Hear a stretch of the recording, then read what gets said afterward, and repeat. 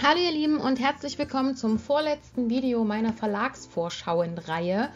Und ähm, heute soll es um den Fischer Verlag gehen, wie ihr unschwer erkennen könnt. Und vorab vielleicht noch als Info, ich hatte ja bei den ersten drei Videos noch so einen kurzen Abschnitt von mir gefilmt, wo ich euch sage, um was für Vorschauen es heute geht. Diese Videos habe ich gelöscht versehentlich für das letzte und vorletzte Video. Ich bin momentan ziemlich schnell im Löschen und habe vergessen, dass ich diese zwei Videoabschnitte ja noch brauche und habe sie komplett gelöscht. Deswegen gibt es jetzt quasi mich nicht nochmal als Intro, sondern nur per Stimme für die letzten beiden Videos. Aber ich denke, das ist jetzt nicht allzu schlimm. Ähm, ja, also es soll heute auf jeden Fall um den Fischer Verlag gehen. Dann soll es heute noch um den Drömer Knauer Verlag gehen. Da möchte ich euch gerne noch was zeigen. Und dann sollte es eigentlich auch noch um den Oettinger Verlag gehen. Aber wie ihr hier unschwer erkennen könnt, gibt es noch kein Programm für Herbst 2018 oder Frühjahr 2019. Weswegen wir den Oettinger Verlag da leider rausstreichen müssen und deswegen heute nur Fischer und Drömer Knauer uns genauer angucken. Und äh, ja, tut mir leid, aber wenn nichts da ist, kann ich euch nichts zeigen. Aber ich denke, das versteht ihr. Und wir fangen jetzt an mit dem Fischer Verlag. Ich habe da einmal rausgesucht Fischer Tor, Fischer FJB und Fischer Kinder- und Jugendtaschenbuch. Die anderen Vorschauen, wenn die euch hier interessieren, wie immer gilt, Link ist unten in der Infobox, dann klickt da einfach nochmal drauf, dann könnt ihr euch die ganzen Vorschauen hier auch einzeln nochmal angucken, die es hier noch mitgibt, denn wie gesagt, wenn wir die jetzt alle durchgehen würden, wären wir nächstes Jahr noch nicht fertig. Deswegen gibt es jetzt die drei vom Fischer Verlag erstmal und danach kommen wir zu Drömer Knauer. Und ich würde sagen, wir fangen an mit Tor Herbst 2018. Ja, Tor Herbstprogramm 2018. Ich finde, das sieht schon mal richtig vielversprechend aus hier. Und ähm, da geht es um Mortal Engines ich, oder Engines. Ich habe wieder keine Ahnung, wie man das ausspricht. Das ist das neue Buch von ähm, Philip Reeve. Ähm, das erscheint jetzt am 24. Oktober und der zweite Teil am 28. November. Und ich glaube, das war das Buch, wo auch der Film ins Kino kommt jetzt Ende des Jahres. Da geht es, glaube ich, um fahrende Städte, wenn ich das richtig verstanden habe. Wenn das jetzt der ist und ich mich nicht komplett täusche. Äh, ja, genau, Filmberichterstattung, genau, das müsste das sein. Also da geht es um so fahrende Städte, da gibt es auch schon einen Trailer, den fand ich richtig cool. Ähm, wenn euch das interessiert, schaut euch das auf jeden Fall mal an. Ähm, ja, wie gesagt, dieses Buch erscheint auf jeden Fall am 24. Oktober und der zweite Teil dann am 28. November. Dann haben wir hier von Ursula Kay Legün Erdsee, die illustrierte Gesamtausgabe. Das ist wahrscheinlich hier die Geschichte vom Erdsee. Ist das das? Ich bin da immer nicht so up to date. Ähm, ich glaube, das gab es schon. Jetzt gibt es halt als illustrierte Ausgabe. Ich kann mich jetzt auch völlig täuschen, dass das jetzt irgendwas anderes, aber hier steht vollständige Neuübersetzung zu 50-jährigen Jubiläum. Also wird das das sein mit der Legende vom Erdsee. Und ähm, ja, was will man dazu noch anderes sagen? Ne? Kommt auf jeden Fall auch im Oktober mit raus, falls euch das interessiert. Dann haben wir hier Deutschlands Fantasy-Autor Nummer 1 setzt eine, was? Setzt seine neue Erfolgsserie fort. Bernhard Hennen.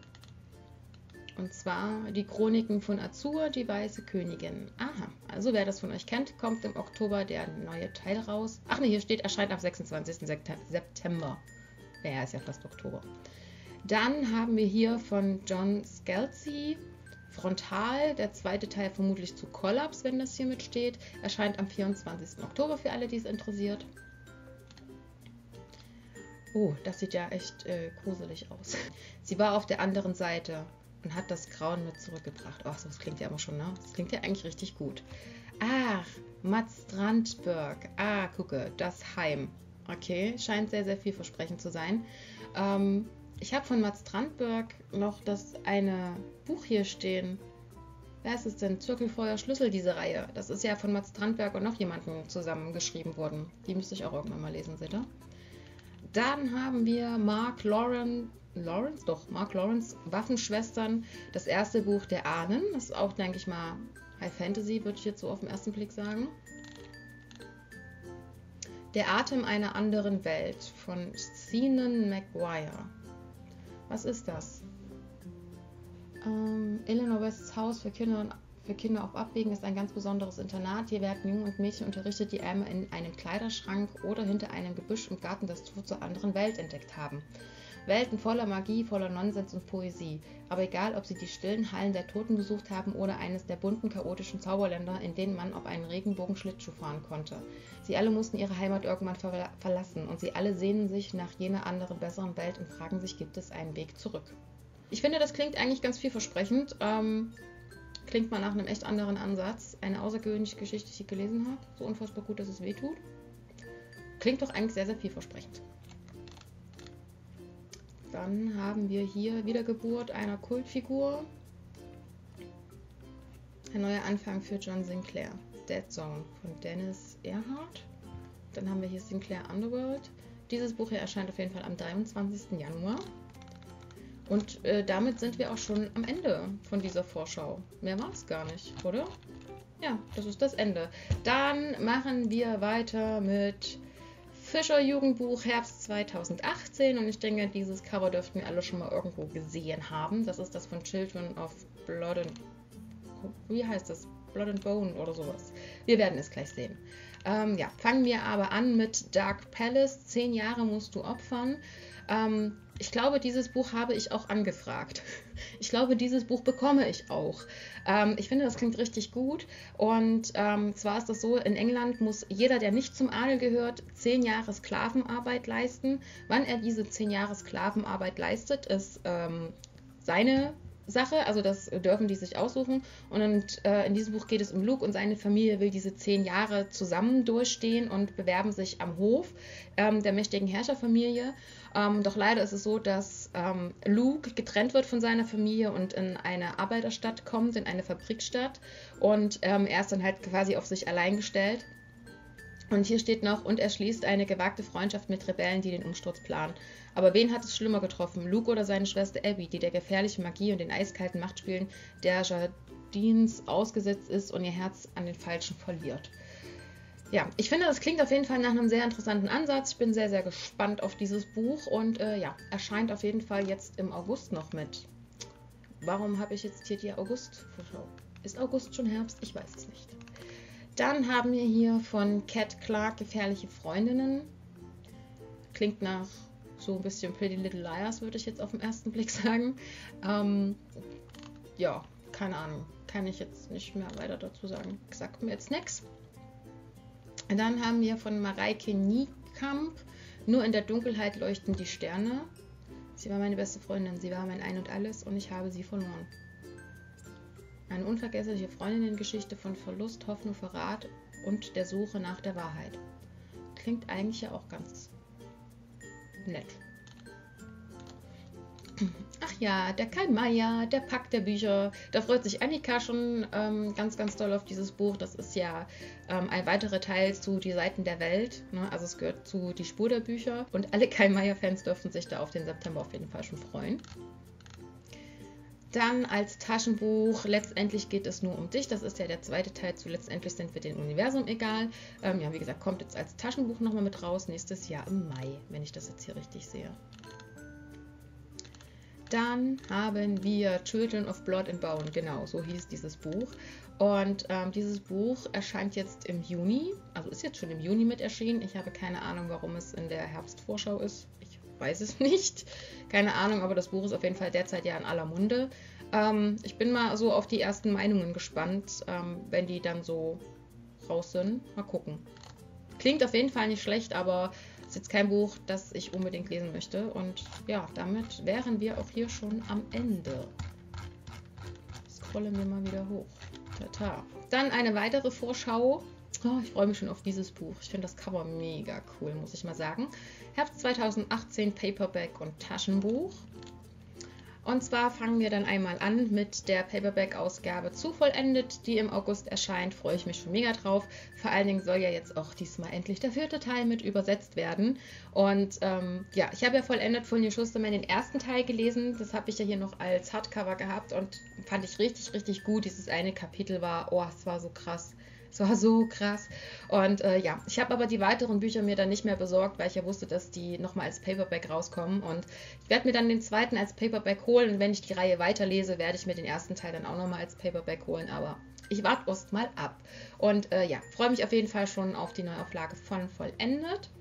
Dann haben wir hier Liebe ist so scheiß kompliziert von Sabine Schoder.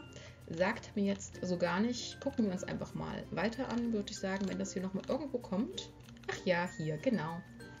Dann gibt es auch noch Liebe ist sowas wie, ah, Liebe ist was für Idioten, nämlich das sagt mir was, der Titel. Und das gehört dann wahrscheinlich so zusammen, dass diese beiden Bücher jetzt auch als Taschenbuch erscheinen.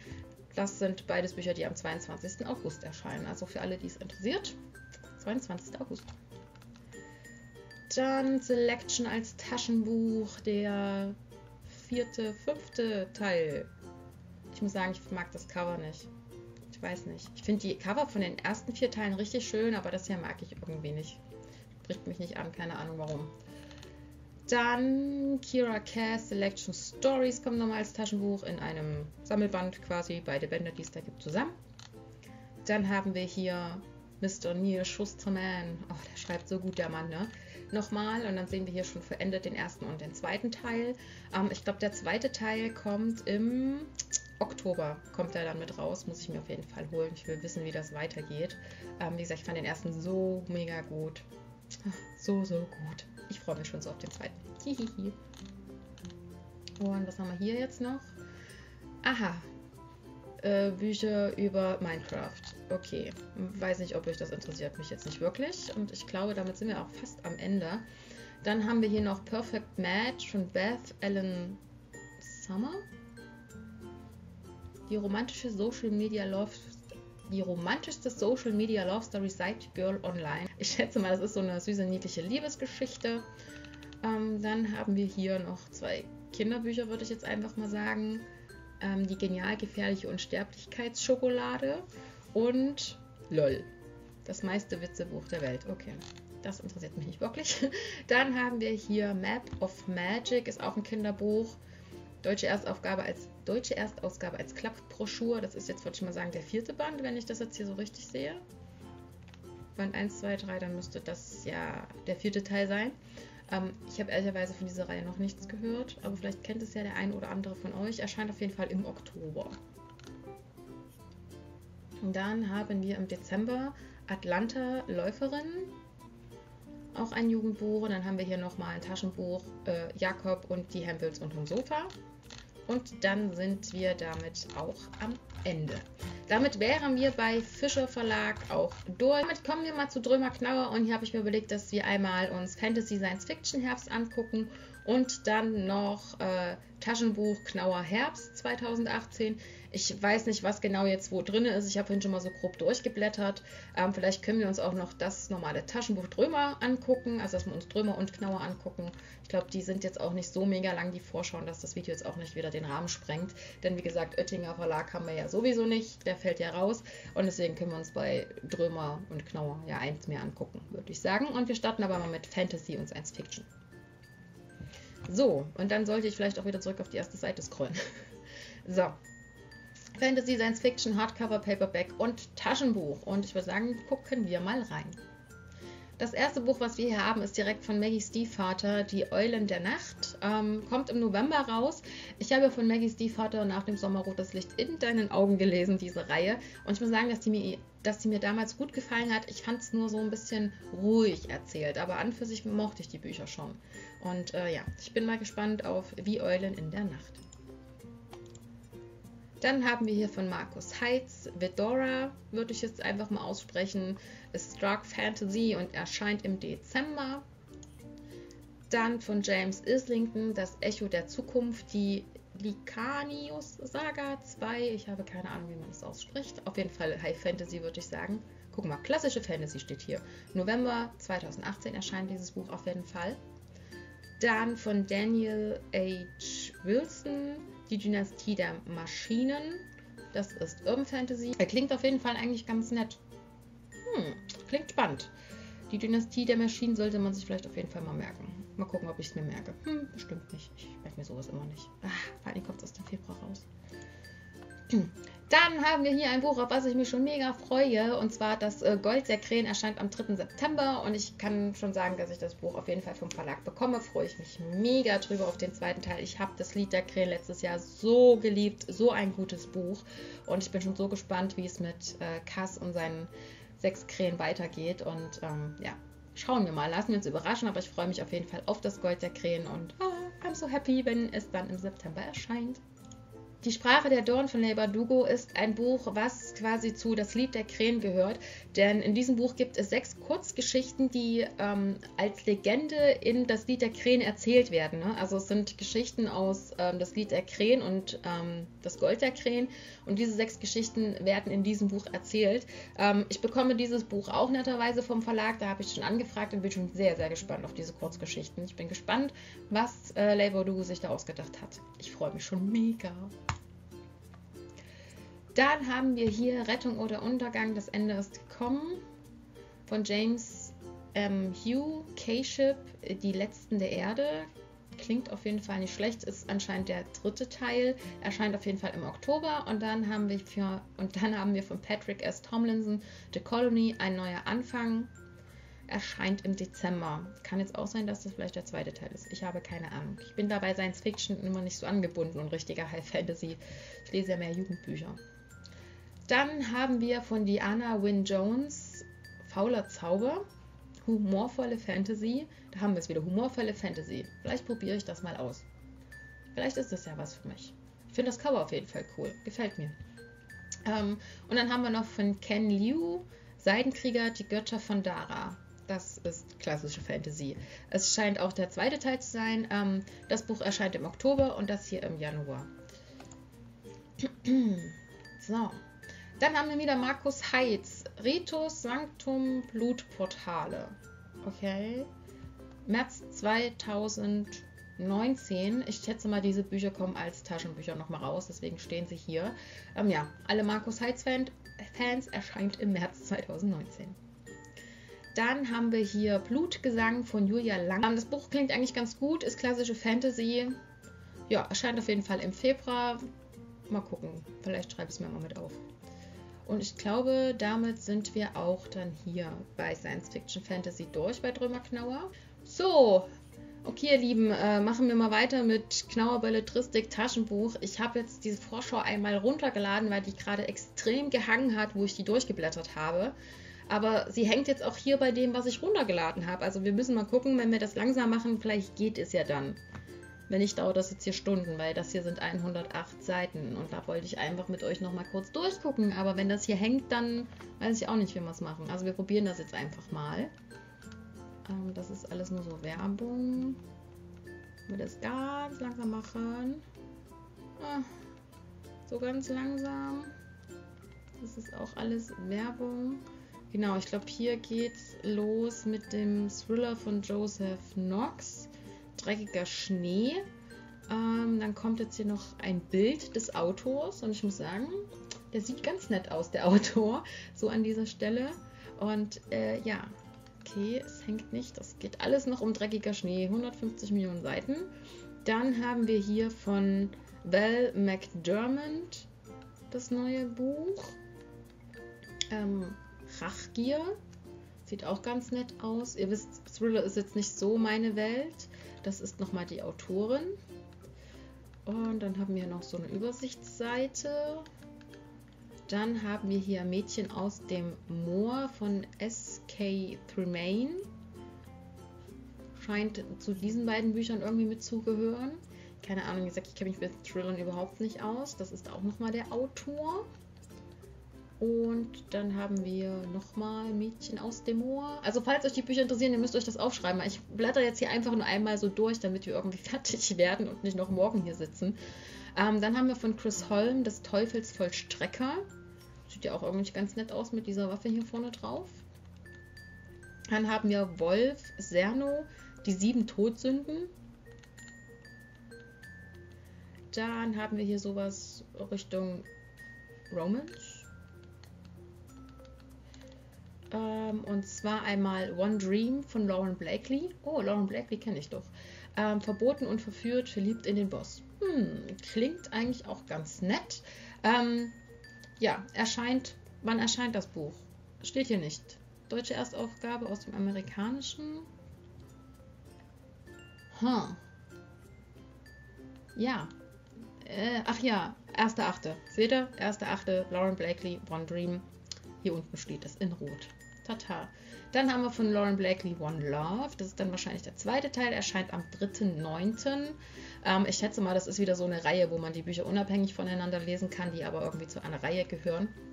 Und ähm, dann haben wir von Sabine Ebert Schwert und Krone, Meister der Täuschung. Erscheint auch am 3.9. Das ist auch nochmal alles das Buch. Dann haben wir ab 11. Oktober im Kino Fitzek und ich kann den Namen nicht aussprechen. Stodos, wie heißt das Buch? Abgeschnitten. Okay, wurde verfilmt. Ähm, dann haben wir die Elemente für eine erfolgreiche. Achso, okay. wir überblättern wir das. Ähm, dann haben wir Alex, nee, Axel Petermann und Klaus Cornelius Fischer, die Elemente des Todes. Ein True Crime Thriller dann haben wir nochmal Romance, ähm, Lost in a Kiss von Katie Wild, Young Romance, Outdoor Love. Mhm. Atemberaubende Love Story um, auf einem Roadtrip durch die raue Schönheit Oregons und Kaliforniens. Klingt ja eigentlich ganz süß, erscheint am 1.10. Dann Die Rose des Herzogs von Maritas Bang erscheint am 2.11. Der Buchladen der verlorenen Herzen erscheint am 1.10. und irgendwie ist die Qualität hier schlecht. Ich weiß nicht, irgendwie ist das hier alles total verzerrt. Bei manchen, nicht bei allem. Sehr, sehr merkwürdig. Dann haben wir Vanessa Savage Mörderhaus. Erscheint auch am 1. Oktober. Hauptsache der Baum brennt von Sina Bärwald erscheint auch am 1.10. Ein bisschen Magie und viel Humor, eine zauberhafte Familienkomödie zum Fest der Liebe. Hm, klingt ja eigentlich auch ganz süß. Dann haben wir Makronen, Mistel und Meuchelmord. 24 Weihnachtskrimis. Das kann man bestimmt wieder wie so ein Weihnachtskalender lesen. Ähm, dann von Danny Atkins, Das Leuchten unserer Träume. Erscheint ebenfalls am 1.10. Dann haben wir hier noch ähm, von Danny Atkins Die Nacht schreibt uns neu, Die Achse meiner Welt. Der Klang deines Lächelns und Sieben Tage voller Wunder. Diese Bücher sind alle schon erschienen. Dann haben wir Oma tanzt auf Wolke 7 von Regine Kölping. Erscheint auch am 1. Oktober. Dann von Ma, oh Gott, Ma, ha, Mairi, Mairi McFarlane. Ich habe keine Ahnung, wie man diesen Namen ausspricht. Sowas kann auch nur mir passieren. Ähm, scheint, denke ich mal, auch so Richtung Chicklet zu gehen. Erscheint auf jeden Fall am 2. November. Das ist alles wieder so Marketingkram, das interessiert uns ja nicht. Dann ähm, von Hanna Kaspian, Gut Greifenau Abendglanz, erscheint am 2. November. Dann Gut Greifenau Nachtfeuer, erscheint am 3. Dezember. Ist eine Familiensaga im Übrigen. Dann Rosenmontagstod ähm, ist ein Kriminalroman von Thomas Fuchs, erscheint am 2. November.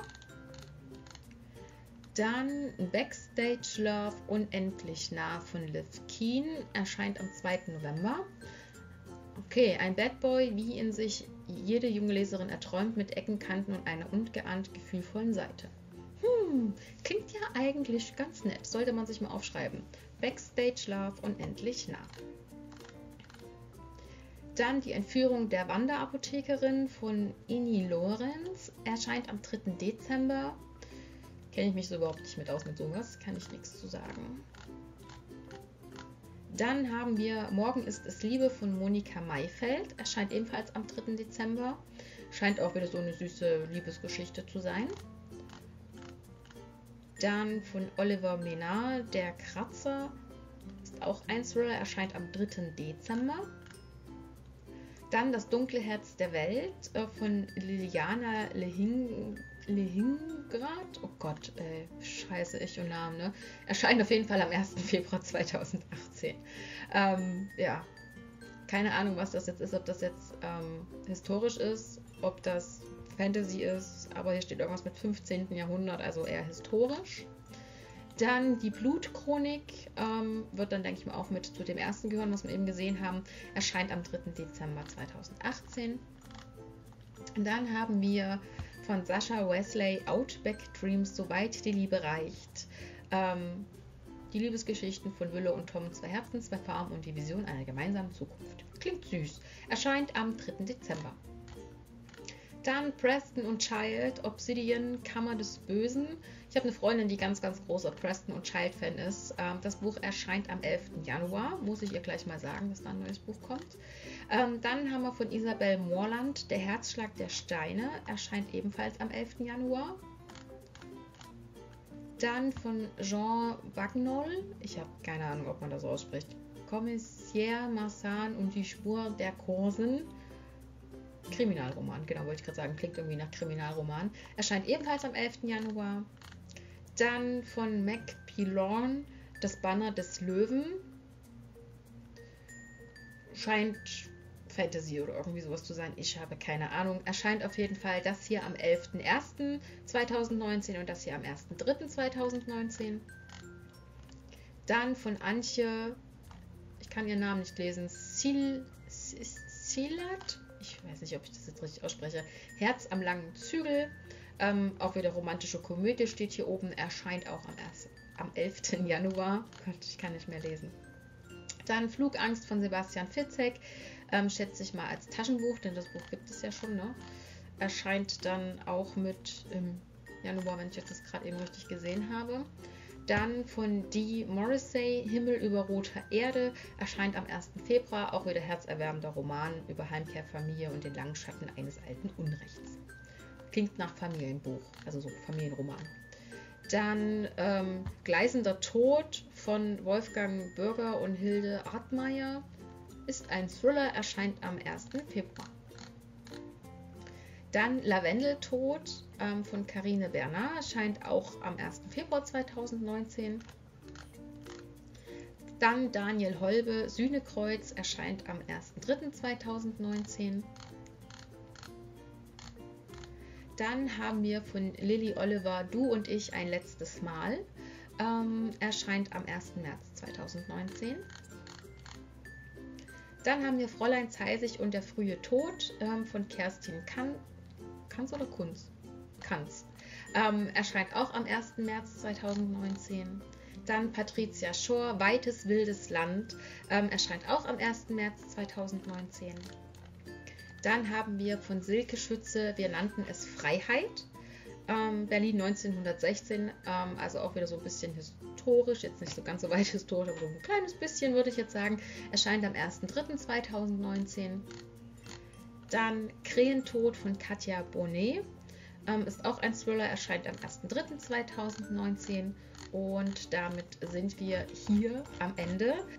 Okay, jetzt haben wir hier noch die Drömer Verlagsvorschau gucken, ob äh, die jetzt wieder lädt. Die lädt auch sehr, sehr langsam. John Katzenbach. Ähm, gucken wir mal, ob wir das Buch irgendwie groß haben noch. Oh Gott, das lädt alles so ewig. Das ist schon mal der Herr Katzenbach. Hier, John Katzenbach, der Verfolger, ist ein Psychothriller und erscheint wann? Im Januar 2019.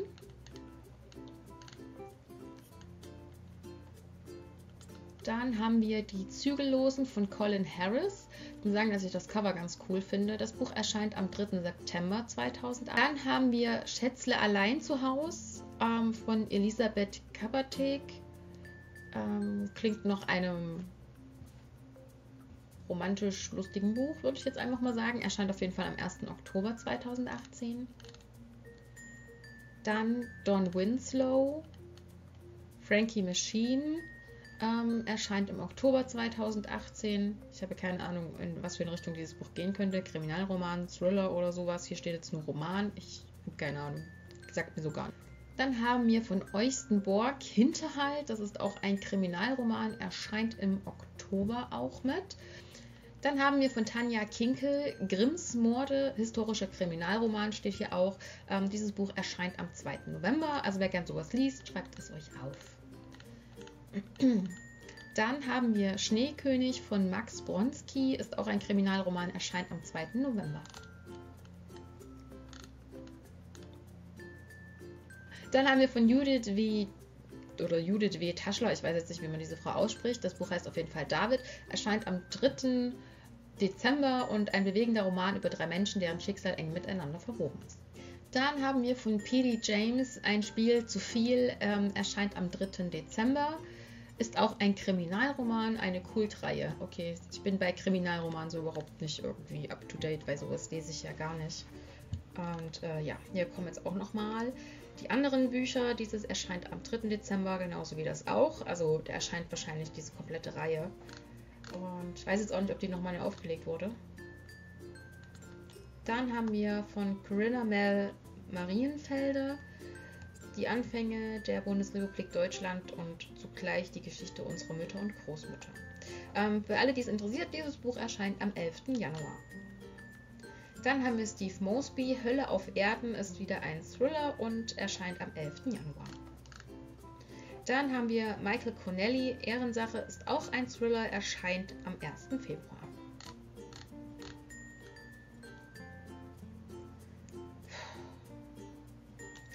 Dann haben wir hier Hannah Kent, wo drei Flüsse sich kreuzen und dieses Buch erscheint am 1. Februar. Dann haben wir Manu Chaus, Chaus Die grüne Ende, ein zauberhaft verspielter Roman über einen Aufbruch aus dem Alltag und die Kunst, dem Leben einen neuen Dreh zu geben. Ähm, erscheint am 1. Februar, klingt eigentlich auch irgendwie ganz interessant.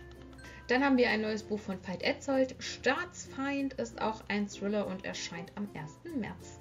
Dann haben wir von Ian Reed Enemy, ist ein Psychothriller und erscheint am 1. Februar 2019.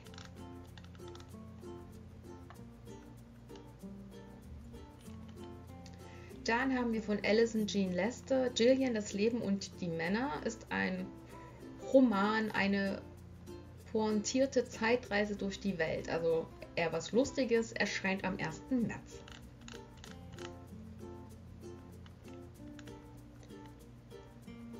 Dann haben wir von Catalina Ferrera oder Ferrera oder was auch immer Spanischer Totentanz, ein Barcelona-Krimi, erscheint am 1.3.2019. Und damit wären wir dann hier auch am Ende. Soweit zum Ende hin alles ein bisschen holprig. Ich glaube, ich muss auch hier ziemlich viel schneiden am Ende, ähm, weil das immer wieder gehangen hat jetzt zwischendurch. Und äh, ja, das war jetzt die Vorschau von Drömer, Knauer und Fischer. Wie gesagt, Oettinger hat leider noch keine neue Vorschau, deswegen lasse ich die jetzt einfach mal weg. Und ja, eine Vorschau gibt es dann noch. Und zwar geht es dann beim nächsten Mal noch um Löwe, Arena und Ravensburger. Und dann sind wir auch am Ende meiner kleinen Verlagsvorschauenreihe angekommen. Und äh, ja, ich bedanke mich an dieser Stelle bei euch wie immer fürs Gucken. Wünsche euch noch eine schöne Woche und wir sehen uns beim nächsten Mal wieder. Bis dann, macht's gut. Tschüss.